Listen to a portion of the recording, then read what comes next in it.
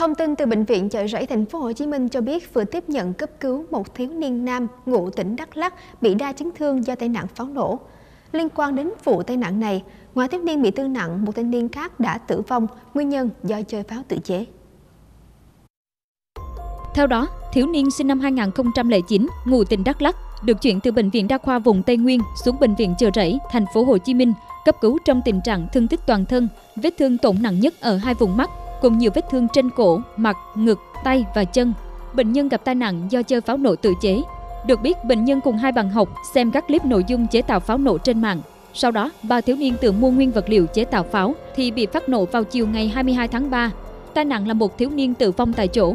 Sau khi được phẫu thuật khẩn cấp, hiện sức khỏe của thiếu niên điều trị tại bệnh viện chờ Rẫy tương đối ổn. Tuy nhiên, vẫn còn sang chấn tâm lý.